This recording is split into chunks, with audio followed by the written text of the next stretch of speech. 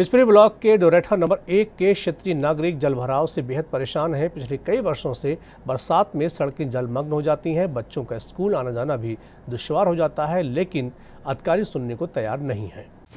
Bichpuri block के दौरेठा number एक के क्षेत्रीय नागरिक जल भराव से बेहद परेशान हैं। बरसात के दिनों में दौरेठा नंबर एक क्षेत्रीय नागरिकों का आना जाना दूबर हो जाता है। बच्चे स्कूल नहीं जा पाते हैं, लोग घरों में कैद हो जाते हैं। इरफान का कहना है कि पिछले कई वर्षों से बरसात के पानी की निकासी के लिए हर स्तर पर वह शिकायत कर रहे हैं, लेकिन उनकी शिकायत का निस्तारण नहीं हो रहा है। क्षेत्रीय नागरिक कौन है? जल भराव की शिकायत एक बार फिर संपूर्ण समाधान दिवस में की है। हमारी जो रोड है वो तीन चार साल से बहुत ख़राब है। ये देवराठा नंबर वन बिजपुरी ब्लॉक में आती है।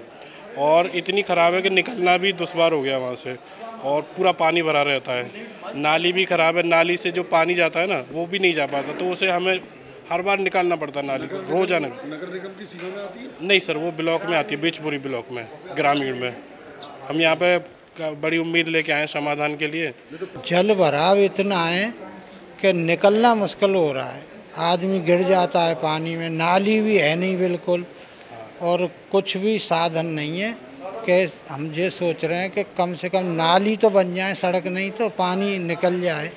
ग्रामीण क्षेत्रों में तमाम ऐसी नई कॉलोनियाँ बन गई हैं, जहाँ बिल्डरों ने पानी की निकासी की कोई व्यवस्था नहीं की है। उसी का दंश क्षेत्रीय जनता को झेलना पड़ रहा है। ग्रामीण क्षेत्रों में तमाम इलाके ऐसे हैं, जहाँ लोगों ने आगरा विकास प्राधिकरण से अप्रूव न कराकर ज़मीन खरीद ली है और अपने घर बना लिए हैं। उम्मीद करते हैं कि जिला पंचायत या नगर निकाय से कॉलोनियाँ विकसित हो जाएँ।